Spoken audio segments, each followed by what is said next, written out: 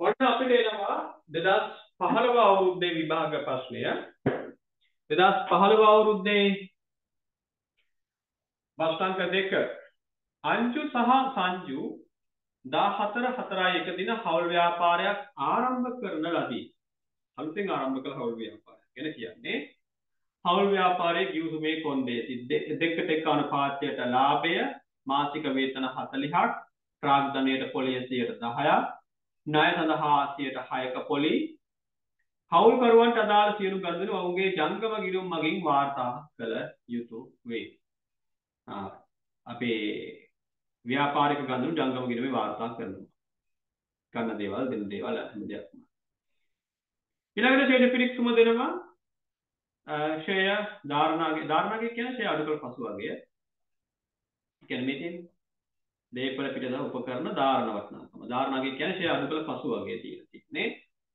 ඊට යටින් ෂේය තියෙනවා නායකතියෝ බැංකුවේ මුදල් ප්‍රාග්ධන ශේෂ ලබා දුන් අය විරද කෙවිය යුතු දෑ විකුණුම් ගැනුම් මෙහෙයුම් අංජුට ගෙවූ වැටු කියන්නේ මුදලින් ගත්ත වැටුප අංජුගේ ණය මත ගෙවූ පොලිය සංජුට ගෙවූ ප්‍රාග්ධන පොලිය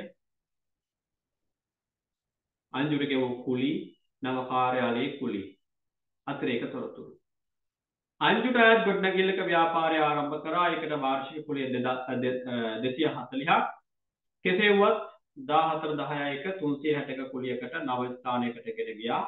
එම මුදලම සම්පූර්ණයෙන්ම එදා ගෙව්වා. තොග වාර්තාවලට අනුව 15 331 තොගේ පිරිවැය 250 ඒ කියන්නේ භෞතික ගණනය කරලා නෙමෙයි පොතට අනුව අර ගබඩා ලෙජරේට අනුව තොගේ පිරිවැය 250ක් කෙසේ වුවත් අංජු සහ සංජු ලබාගත් 30ක් සහ 20ක භාණ්ඩ පොත්වල වාර්තා කරලා නැහැ. අංක 3 අප්‍රේල් මාසයේ බෙදා හැරීමට එකඟ වූ භාණ්ඩ වෙනුවෙන් ව්‍යාපාරය ලද ලක්ෂයක අත්තිකාරමක් විකුණුම් ලෙස වාර්තා කරලා අංක 4 තියෙනවා බැංකු ගිණුමක තොරතුරු ගලපන්න. අපිට කියනවා ආදායම් ප්‍රකාශය හදන්න, හවුල්කරුවන්ගේ ජංගම ගිණුම් හදන්න, හවුල් ව්‍යාපාරයේ බැංකුවේ ඇති මුදල් සහ වෙළඳ ලැබිය යුතු දෑ නිවැරදි ශේෂීකරණය කරන්න. හරි රූල් කරන්න පටන් ගන්න. ඔය කිව්ව දේවල් රූල් කරන්න. හරි ඔන්න මගේ ආකෘති තුන ආදායම් ප්‍රකාශය ජංගම ගිණුම බැංකු ගිණුම හා නායක තිපාල ගිණුම අවුණ වෙනවා. අර ශේෂයන් දක්වන්න කිව්වනේ. දැන් පහළව අවුරුද්දේ හවුල් ව්‍යාපාර ප්‍රශ්නයේ පළවෙනි අතිරේක තොරතුර ඊට කලින් අපි අවුරුදු තෝරගමු. මේ අය වැඩ කරන්නේ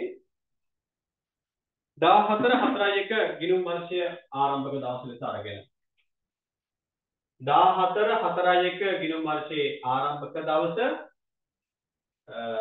15 3 31 ගිණුම් වර්ෂයේ අවසාන දවස. කියන්නේ අලුතෙන් ආරම්භ කළ ව්‍යාපාරය. අතරේක තොරතුරු අංක 1 අංචුට අයත් ගොඩනැගිල්ලක ව්‍යාපාරය ආරම්භ කළා. ඒකට 240ක කුලියක් අංචුට ගෙවන්න ඕන. හැබැයි ප්‍රශ්නේ තියෙන්නේ 14 10යි එක මෙයාලා යනවා 360ක කුලියකට නව ස්ථානයක. 14 10යි එක.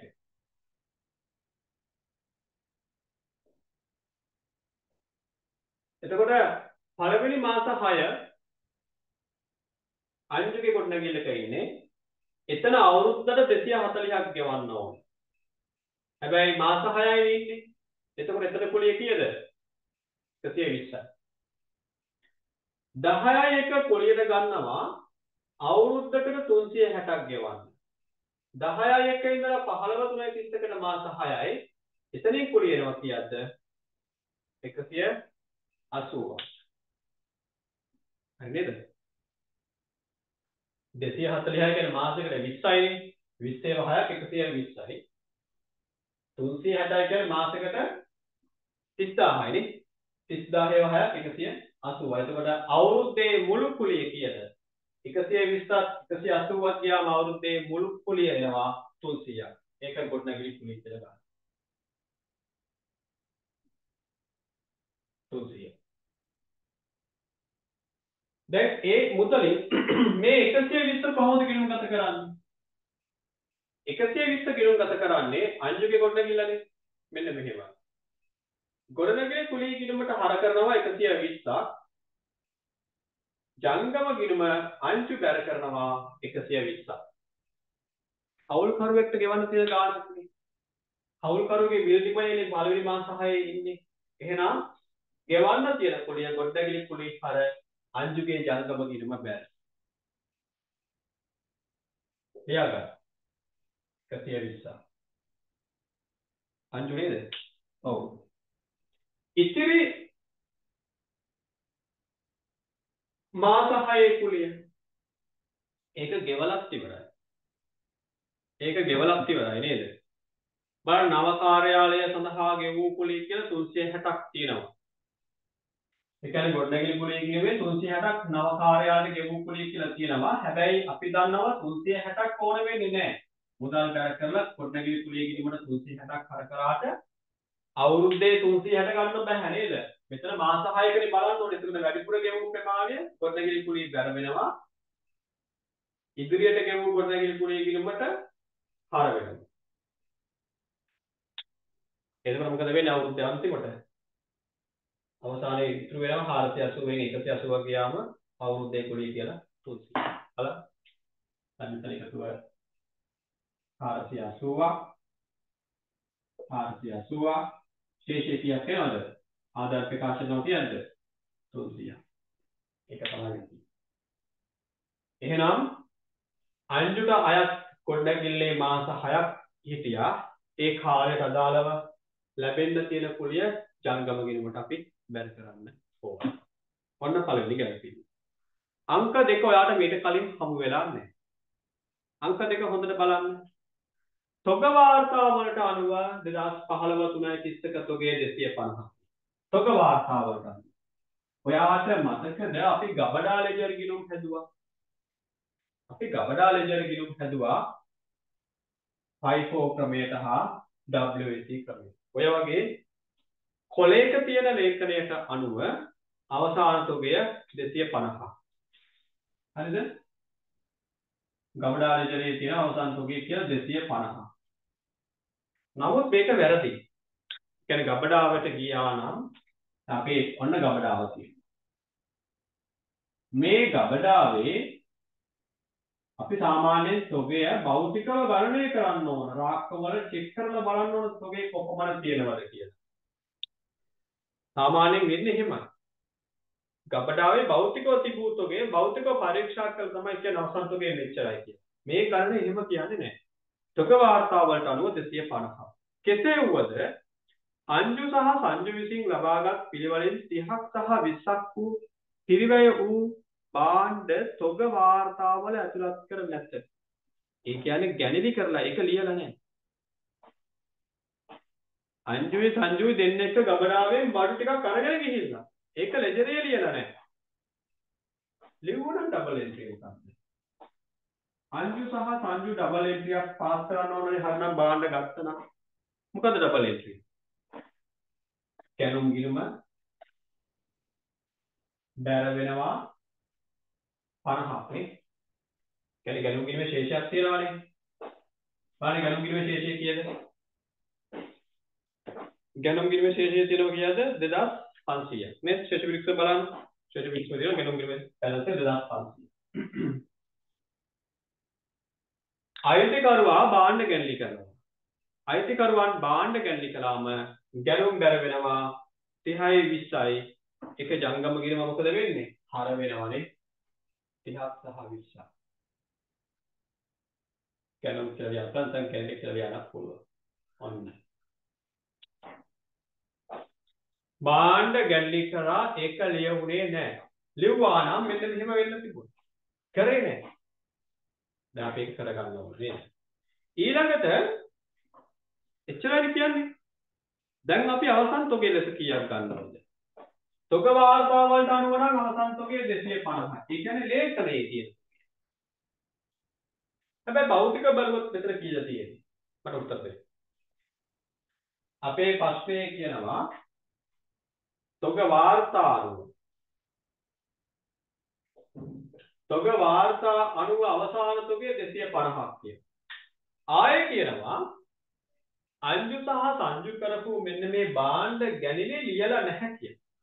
ඒ කියන්නේ FIFO ක්‍රමයට හෝ WAC ක්‍රමයට ගබඩා ලෙජරේ මේ 30 20 අඩු වෙලා නැහැ. අඩු නොකර තමයි අවසන් තොගය ගත්තේ කීයද?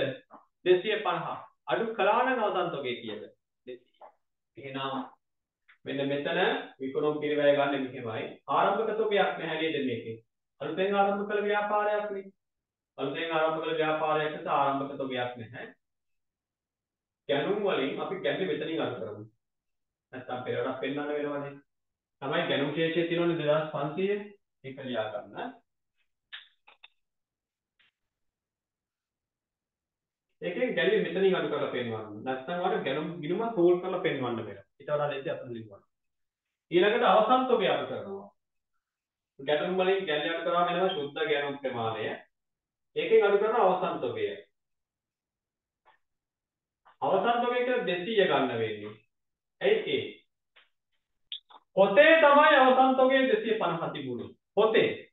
හැබැයි අපිට කියනවා පොතේ ලියන්න බැරි වුණා. ඒ කියන්නේ දැන් අපි හැදුවා ෆයිකෝ අපි මේ ව්‍යාපාරේ ෆයිකෝ ක්‍රමයට හැදුවා කියලා ගබඩා ලෙජරේ ෆයිකෝ ක්‍රමය. එතකොට මොකද වෙන්නේ? ලැබීම් නිකුත් කිරීම ශේෂය. නේද? ලැබීම් නිකුත් කිරීම ශේෂය. ඉතින් අයිතිකරුවා 30ක් සහ 20ක් ගත්තා නම් ඒක නිකුත් කිරීම ලෙස ලියන්න තිබුණා. හැබැයි ලියලා නැහැ. ලිව්වා නම් තොග වාර්තාවේ ශේෂය 200ක් වෙනවා. ලියලා නැති නිසා තමයි 250 ආවේ. ඉතින් වැරදි උත්තරේ ගන්න බෑනේ. ඒ නිසා භෞතිකව තියෙන තොගේ තමයි අපි අඩු කරන්නේ. එතන දැන් ගබඩාවේ අංශු සහ සංජු අරන්ගේ තොග නැහැ නේද? ඒකට භෞතිකව මෙතන තියෙන්නේ අනිවාර්යෙන්ම කියලා. අන්න ඒක.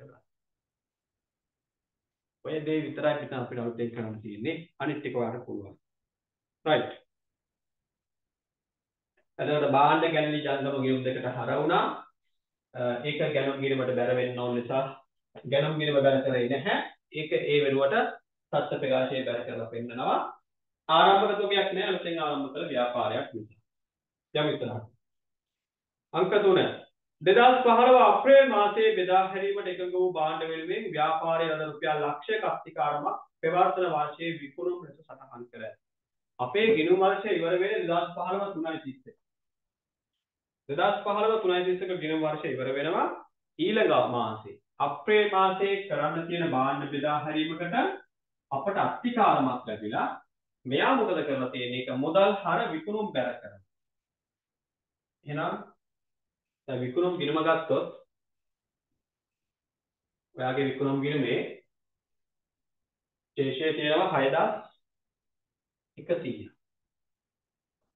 විකුණුම් ගිණුමේ තියෙනවා 6100. මෙන්න මේ ලක්ෂය මුදල් ලැබිලා හැබැයි ඒක අස්තිකාරම. ලබන මාසේ භාණ්ඩ විකුණන්නේ. ඔයා දන්නවා උපලබ්ධි සංකල්පය. නේද? උපලබ්ධි සංකල්පයට අනුව ඔයාට උපලබ්ධින වූ ආදායම් හඳුනා ගන්න බෑ. ඒ කියන්නේ තවමත් ඔයාගේ ගබඩාවේ නම් භාණ්ඩ තිබෙන්නේ කස්ටමර්ගෙන් ලැබුණු මුදල ඔයාගේ ආදායමක් වෙන්නේ හදිස්සියෙන්වත් මේ භාණ්ඩ ටික ඔයාලට යවන්න බැරිවොත් ඉතින් කස්ටමර් ළඟට. ඔයා පොරොන්දු වෙනවා අප්‍රේල් මාසේ බත් ටිකක් දෙන්නම් කියලා. දෙන්නම් කියලා ඔයා දැම්මම ඇඩ්වාන්ස් එකක් ගත්තා. ඒ අප්‍රේල් මාසේ භාණ්ඩ වලට යවන්න බැරි වුණා. ඒතකොට අර ගත්ත මුදල ඔයාගේ ආදායමක්ද නැහැ. ඒක ආයෙ ඔයාලට ගෙවන්න වෙනවනේ. එහෙනම් ආදායම උපලබ්ධි වෙලා නැහැ.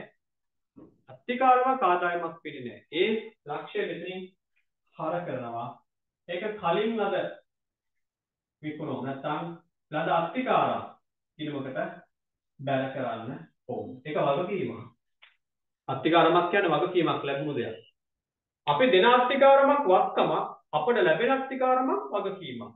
ඒ අනුව ආගේ විකුණුම් වලින් 6100 100ක් ගියාම ආගේ විකුණුම් මගය 6000 බවට පත් වෙනවා.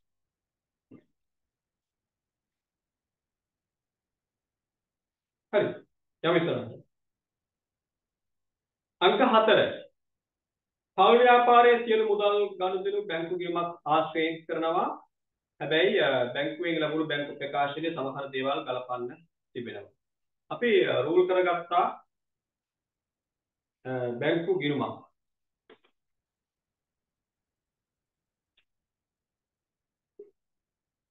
බැංකු ගිණුම ඒ කියන්නේ මුදල් ගිණුමනේ අලුත් සිලබස් එක අනුව මුදල් ගිණුම තව අපිට හදන්න කියනවා වෙළඳ ලැබිය යුතු දෑ ගිණුම. මොකක් ටිකක් ඉඩ ඇතුව මික්ස් කරන්න.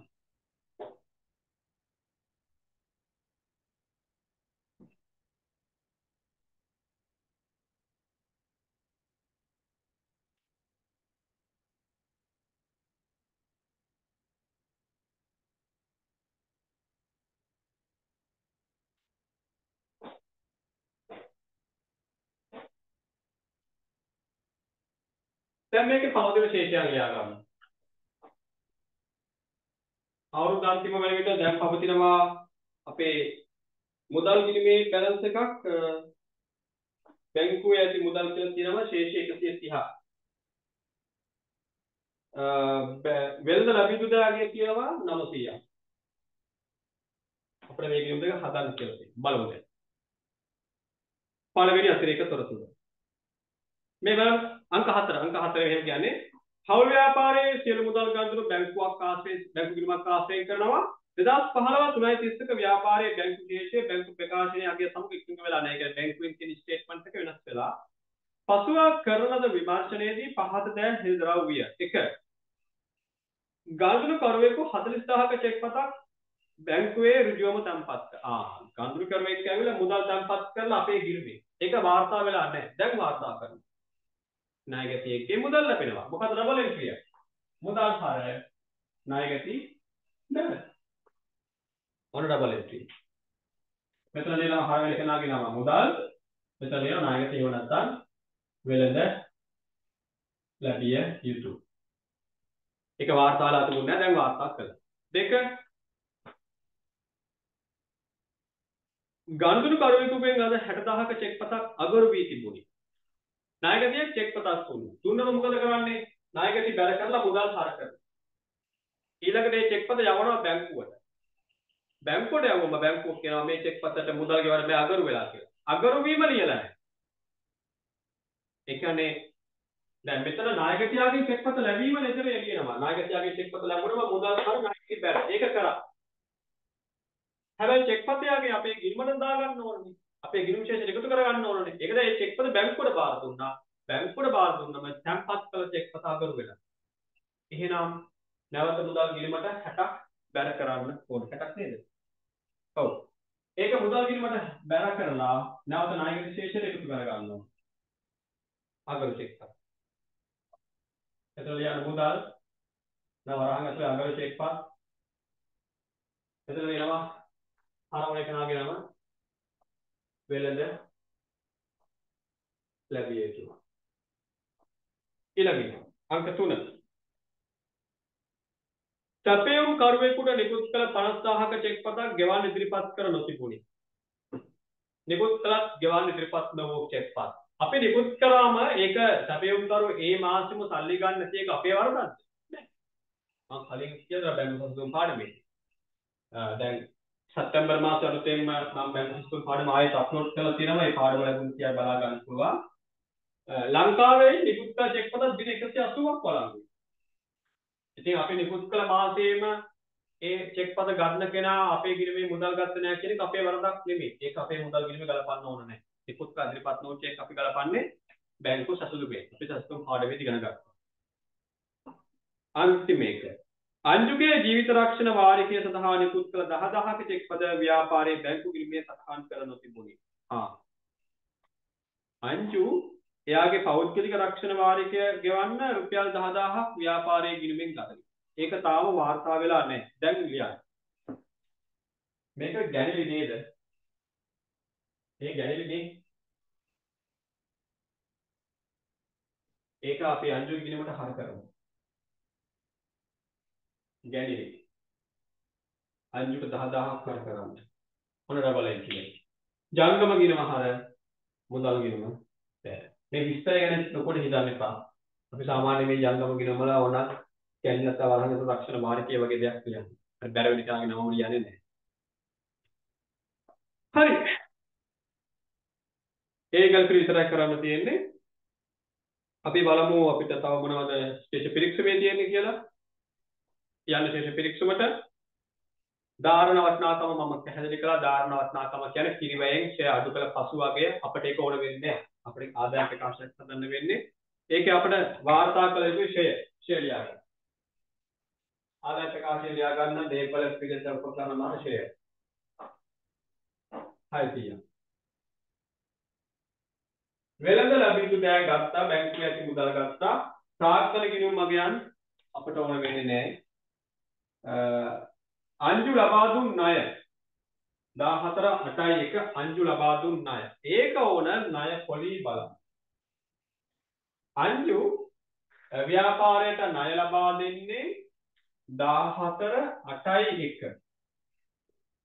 අවුරුද්ද අවසාන වෙන්නේ 15 3යි 31. අංජු ලබා දෙනවා 8යි 1 වෙනිදා 1300ක ණය. 1300ක් ණය දෙනවා. පවුල් ව්‍යාපාරයේ ගිවිසුමට අනුව ණය සඳහා වාර්ෂික පොලිය 106ක්. දැන් මාස කීයද? මාස කීයද ළම බලන්න. 8යි 1 8 වෙනි මාසෙත් එක්ක 8 9 10 11 12 එතන 5යි ඊළඟ අවුරුදු 3යි මාස 8යි. මාස 8කට පොලිය බලන්න.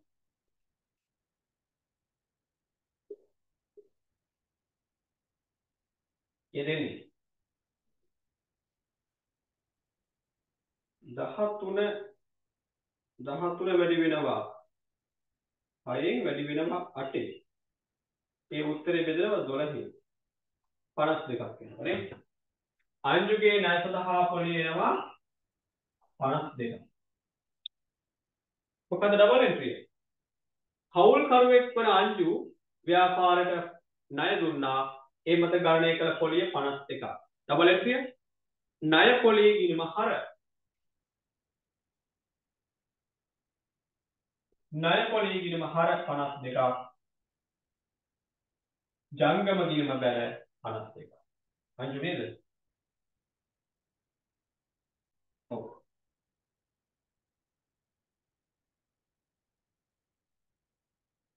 ඔන්න ගණනය කළ පොලිය කොහොමද? ලෝන් එකට අවුරුද්දකට සියයට හය ගානේ මාස අටකට. උපචිත පදන මත ගණනය කළා. පොලියාව කියන්න පනස් දෙකක්. ඩබල් එන්ට්‍රිය පොලි වියදම් ගිණුම හර ජංගම ගිණුම බැ. ගණනය කළ පොලිය. කියමු ඉතින් ඊළඟට වෙළඳ ගෙවිය යුතු දෑ අපට ඕන වෙන්නේ නැහැ තත් ප්‍රකාශයක් හදන්නේ නැහැ විකුණු. ඒක ගත්තා. ගැලුම් දෙදස් පන්සිය ගත්තා. මෙසයුම් වියදම්. එක වියදමක් ලියන්න මෙතන මෙහෙයුම් වියදම් තියෙනවා 820ක් 820ක් ඊළඟට අංජුට ගෙවූ වැටු මම හවුල් ව්‍යාපාර ටියුට් එක හදද්දි කිව්වා හවුල්කරුවෝ වැටුප මුදලින් ගන්නවා ගොඩනැගිලි කුලිය මුදලින් ගන්නවා. ඒ හැම දෙයක්ම මොකද කරන්න ඕනේ? ජංගම ගිරම හර කරන්න. ගෙවූ වැටු බැර නෙවෙයි හර. දැන් වැටුප ගෙවුවම ඩබල් එන්ට්‍රිය වෙන්න ඕනේ. මුදල් බැර වැටු සෝරි වැටුප ගෙවුවම ඩබල් එන්ට්‍රිය වෙන්න ඕනේ. මුදල් බැර ජංගම හර. ජංගම ගිරම හර කරන්නේ ගෙවූ වැටු අංජුට ගෙවලා තියෙනවා 200ක් අංජුගේ ණය මත ගෙවූ පොලි ඒකත් එහෙමයි. පොලි කිරීමට හර කරන්න එපා. අවුරුද්දට අදාළ පොලිය බැලුවනේ. ඒක පොලි හර ජංගම බැර. ඊළඟ පොලිය මුදලින් ගෙවනවා. පොලිය මුදලින් ගෙවුවා මොකද වෙන්නේ? මුදල් බැර ජංගම හර. ගෙවූ පොලි. ගෙවූ පොලි අංජුට හර වෙනවා 30. දැන් ඔයා මගෙන් අහයි ඒව ඇයි මුදල් කිරීමේ බැර කරන්නේ නැත්තේ? ඇයි අපි මේවා මුදල් කිරීම බැර කරන්නේ නැත්තේ? ඒක දැක්කමත් බැර වෙලා. ඒකනේ ශේෂ පිරික්සමට ආවේ. දැන් මේවා ගැළපෙන්නේ නෙවෙයි නම් ශේෂ පිරික්සමේනේ තියෙන්නේ. ශේෂ පිරික්සමේ මෙහෙම ඇවිත් තියෙනවා කිරීම. අංජුට ගෙවු වැටුප් කියලා කිරීමක් තියෙනවා. අංජුගේ ණයමත ගෙවු පොලි කියලා කිරීමක් තියෙනවා. ඒ කියන්නේ කොහොමද ඒ කිරීම හැදුනේ? මුදල් බැර වෙලා. මුදල් බැර වුණා 200ක් අංජුට ගෙවු වැටුප් කියලා ගිණුමක් හරවනවා. ඊළඟට මුදල් බැර වුණා 30 අංජුගේ ණය මත පොලි කියලා ගිණුමක් හරවනවා. අන්න ඒ හරශේෂය තමයි අපි මෙතන ලියන්නේ දැන්. ආයි මුදල් ගිණුමට ගන්නෙ නෑ ඒ අගයන් ටික. ඊළඟට අංජුට ගෙවූ ප්‍රාග්ධන පොලි. ගෙවූ ප්‍රාග්ධන පොලි. එකත් අංජුටනේ. sorry සංජුට. සංජුට ගෙවූ ප්‍රාග්ධන පොලි 100ක්. ඒක සංජුට හර කරා. ඊළඟට අංජුට ගෙවූ කුලි. අර ගොඩනැගිල්ලට ගොඩනැගිලි කුලි 120 බැර කරා. දැන් මෙහෙන් ගන්නවා ගෙවූ කුලි. ගෙවූ කුලිය 100ක් අංජුට හර කරනවා. නව කාර්යාලය සඳහා ගෙවූ කුලි 360 අපිට ඕන නැහැ අවුරුද්දේ කුලිය ගත්තා 300 360 ගන්න ඕන නැහැ ඔන්න ළමයි අපි ගල්ලා අවසන්. එහෙනම් අපිට මෙතනින් ගන්න පුළුවන් මුදල් ගිණුමේ ශේෂය මෙතනින් ගන්න පුළුවන් නිවැරදි ලැබිය යුතු දෑ ශේෂය මෙතනින් ගන්න පුළුවන් ලාභය. කීයක් වෙනවද 250 කියාම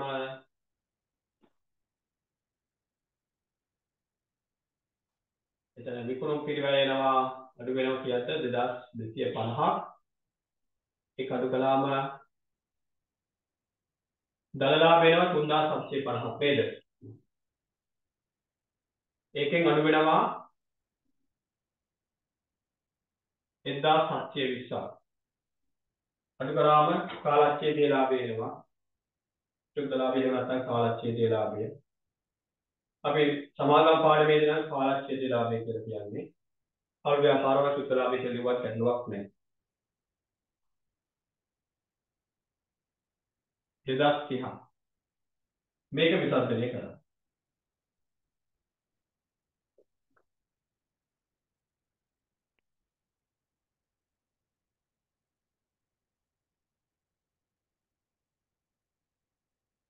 ආ මට වැරදිලාද? අංජු ලබා දුන්න අය 1000. අනේ ඕනේ. sorry.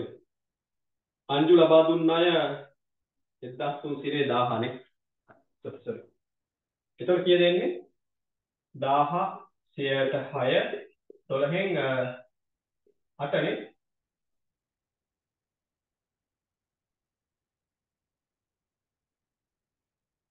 480 12න් බෙදුවම 46යි නේ 9 46යි නේ 9 පොලිම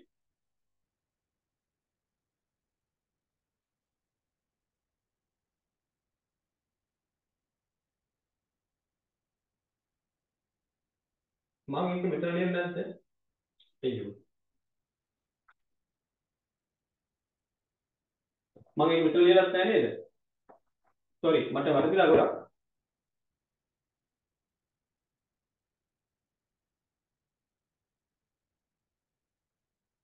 අංජුට ලබා දුන්න ණය ප්‍රමාණය 1000ක් අංජු අපිට ලබා දුන්න ණය ප්‍රමාණය 1000ක් 1000න් 106යි වාර්ෂික පොලිය. ඒකේ මාස 7කට බැලුවම 40යි. ආ මම ණය පොලිය ගිණුම රූල් කළා විතරයිනේ. දැන් මේ 40 ගිණුම ගත කරන්නේ පොලී ගිණුම හර ජංගම ගිරම බැල. එතකොට මේක ලාභ ලාභ ගිරමට යන්න ඕනනේ. මේක වියදමක්නේ. ඒක මම කලින් කිව්වේ නෑ. ණය පොලේ. මෙතන ලියනවා 40. හරි. දැන් අපි ගණනය කරනවා ශුද්ධ ලාභය. 9යි 8යි 17යි 1760ක්. එතකොට එනවා ලාභය 15න් 6ක් 90යි 6 තියෙන්නේ 16න් 7ක් 9යි දෙකෙන් එකක් 1990යි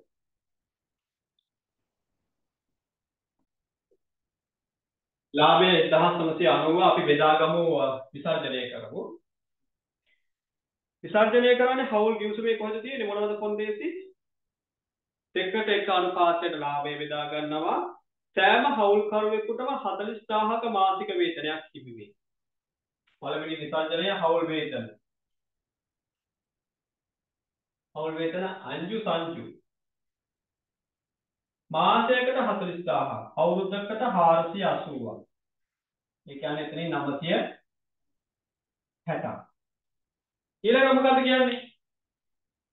හවුල්කරුවන්ට ප්‍රාග්ධනය මත 10ක පොලියක් හිමි වේ. දෙවැනි එක ප්‍රාග්ධන පොලි. අංජු සංජු. අපට ප්‍රාග්ධන ශේෂය අපේ ප්‍රශ්න පත්‍රයේ දෙනවා. අපේ ප්‍රශ්න පත්‍රයේ ප්‍රාග්ධන ශේෂය දෙනවා කියද්ද?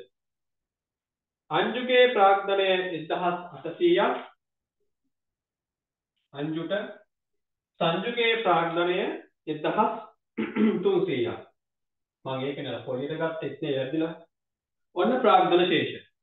මේ මත අවුරුද්දකට පොලිය ගෙවනවා 10ක් 10ක් එහෙනම් මෙතනින් එනවා 180ක් අනිත් කෙනාට එනවා 130ක් 100 310ක් ප්‍රාග්ධන පොලි 310ක් බෙදා ගන්න. තව හවුල් කිව්සම ලබා දෙන ණය සඳහා 106යි එච්චරයි. ඊට පස්සේ ඉතිරි ලාභය දෙකට එක අනුපාතයකට බෙදා ගන්න ඕන. බලන්න 1990ක් ලාභය ලැබුවා. 1990න් 960ක් බෙදාගත්තා වැටුපලෙස. තව 310ක් බෙදාගත්තා පොලි ලෙස. තව ඉතුරු වෙනවා 720ක්. මේ 720 මෙයාලා බෙදාගන්නේ දෙකට එක අනුපාතයට. ඒ කියන්නේ තුනෙන් බෙදන්න. 240. එහෙනම් ලාභ කොටස් වෙන්නේ මෙන්න මෙහෙම. 480 240. ලාභ කොටස්. අංජු සංජු. ලාභ කොටස් 480 240. දැන් මේවා අපිට යාළගේ ජංගම කිරිමේලියක් තියෙනවා.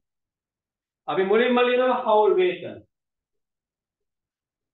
හවුල් වේතන 480 බැරි. ඊළඟට ප්‍රාග්ධන පොලි ප්‍රාග්ධන පොලිය එනවා 180 130 ඊළඟට එනවා ලාභ කොටස් ලාභ කොටස් එනවා 480 240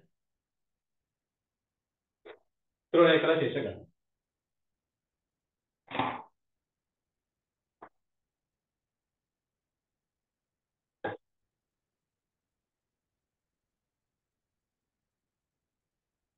හරිද අපිට ඉල්ලන්නේ මොනවද කියන්නේ අපිට විසර්ජනීය සහිත වාදන ප්‍රකාශනය හවුල්කරුවන්ගේ ජංගම ගිණු ඊළඟට ව්‍යාපාරයේ මුදල් සහ වෙළඳ පිටුතය නිවර්ති. ඉතින් මේ කිලෝමීටර තුනයි කරලා අපිට නිවර්ති ශීර්ෂයක් කියලා ගන්න පුළුවන්.